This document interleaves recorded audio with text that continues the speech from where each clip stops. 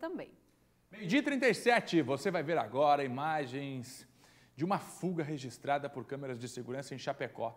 A verdade é que esse sujeito de bike aí dá um baile na guarda municipal. Olha aí, ó. Sibeli, Fábio, coitado, hein? Olha só a situação. A guarda municipal veio de carro, aí o sujeito de bicicleta conseguiu fugir. Não tinha como fazer a volta do carro rápido. É sim, Fernando. Bicicleta motorizada. E olha só a continuação. Ele empreende fuga em alta velocidade e aí na sequência a guarda continua atrás dele. Aí você vê a repetição da cena, olha, ele chegando, ele percebe que a guarda vai fazer a abordagem, aí ele faz a volta rapidamente, desvia do guarda, o guarda chega a dar um salto ali, ó, vai aparecer agora em câmera lenta.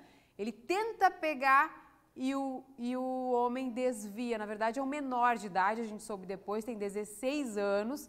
E olha, ele empreende fuga. Depois, Fernando, desse baile, como você disse, a Guarda Municipal conseguiu chegar até ele. E aí disse que ele tinha 16 anos, não tinha autorização para pilotar esse tipo de veículo, apesar de ser uma bicicleta motorizada, precisa de uma autorização para poder usar e ele não tinha essa autorização, então ele foi abordado e acabou viralizando esse vídeo nas redes sociais, porque a guarda estava numa caminhonete, ele estava numa bicicleta motorizada e fez todo esse auê na cidade. Foi em Chapecó. Chapecó. Mas agora já está tudo resolvido. Foi em Chapecó. É, a guarda não tinha o que fazer, a guarda fez até demais, né? O, o guarda ainda saiu do carro, tentou pegar na unha, mas não deu.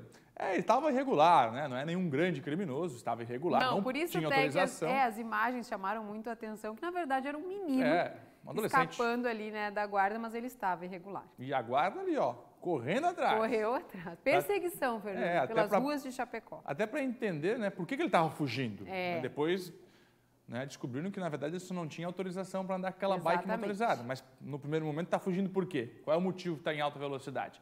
E a guarda não desistiu, não. Não tinha como ir de carro, desceu e foi caminhando. Depois chegou até